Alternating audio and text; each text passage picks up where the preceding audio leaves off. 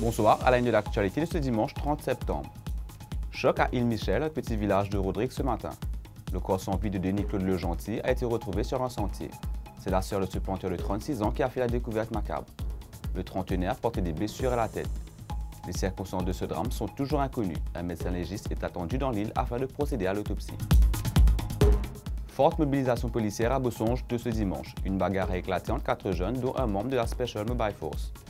Une unité de l'Emergency Response Service est intervenue. Les quatre jeunes qui se battaient à coups de sabre et d'outils ont été placés en détention au poste de police de Bambou. La proposition de réforme électorale du Premier ministre est un pas dans la bonne direction. C'est ce qu'a déclaré Ivan Kolendaville lors de la réouverture du jardin Freddy à Passami à Bobassin. Le député Prime Minister a pris pour cible l'opposition.